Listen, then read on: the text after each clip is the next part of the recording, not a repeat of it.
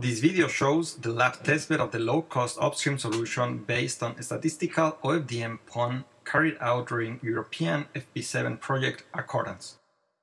The experimental setup consisted of two optical network units which were modulated with real OFDM data saved in an arbitrary wavelength generator transmitting at 6.25 gigasamples per second. The low part of the spectrum corresponded to ONU1, that is, it used the first half of the subcarriers, while the upper part of the spectrum was for ONU2. Both ONUs were then combined in a 1 to 16 splitter and traveled through 25 kilometers of single mode fiber.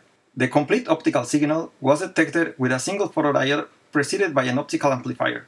The electrical signal was then sampled with a 50 GHz real-time oscilloscope which also processed and decoded the frames with a single FFT. A wavelength tuning system based on temperature and current control was developed to separate the ONU's optical spectrum in order to reduce optical beat interference. Here is experimental setup of UPC lab in Barcelona, Spain. The system was also tested at KIT in Karlsruhe, Germany, where also a downstream signal was launched to show bidirectional transmission. The results of the optical beat interference reduction when tuning the ONUs are presented first. On the left side, the optical spectral separation of the ONU carriers is shown, while on the right side, the received constellations of a BPSK test signals and their bit error ratio is presented for both ONUs. It is noticed that at an optical separation of 0.10 nanometers, both constellations are well defined, though the bit error ratios are close to the limit of 10 to the minus 3, which was considered a threshold for proper detection. A further increase to 0.12 nanometers of spectral separation allows both ONUs to transmit below the performance limit defined. Both ONUs are left with this optical spectral separation for the remaining tests.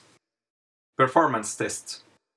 The bandwidth available for each ONU was reduced by setting subcarriers to zero to improve their performance and allow more electrical separation between them. This short video, found in MATLAB libraries, was used as data for transmission.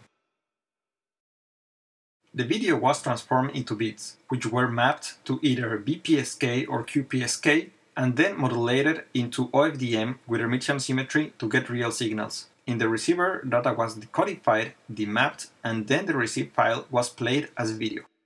The video was coded into 4500 OFDM frames, giving more than 1 million samples, which was the memory limit of our instrument. The first four frames were for synchronization, and the second four were for training a one-tap equalizer in the OFDM decoder.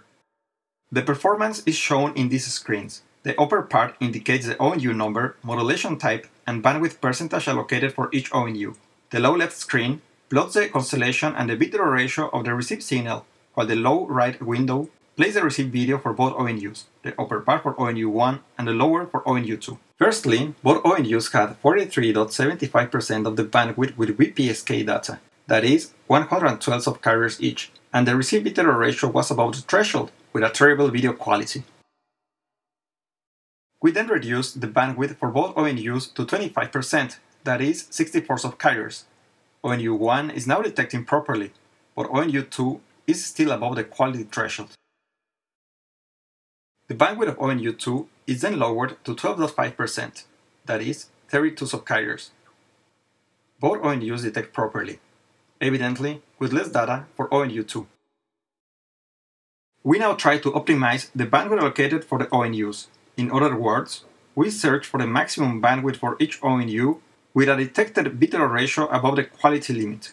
It was observed that giving 31.25% of the available bandwidth to ONU1 and 21.88% to ONU2 was the limit for both being detected at a satisfactory level with sufficient video quality. We then changed the modulation format of ONU1 to QPSK, giving 25% of the bandwidth to both ONUs, that is, 64 subcarriers each. The bit error ratio was below the limit for both ONUs, but there were some errors in the video. We then tried to improve the quality by reducing the bandwidth of ONU2 to 21.88%, that is, 56 subcarriers. Now, the video quality is satisfactory for both ONUs. As a final test, we changed the modulation format of ONU2 to QPSK. With both ONUs having 25% of the bandwidth, only ONU1 is below the quality limit. In order to improve ONU2, its bandwidth was reduced to 15.63%, or 42 carriers. Now both ONUs are detected properly, and video is played with quality. Thanks for watching.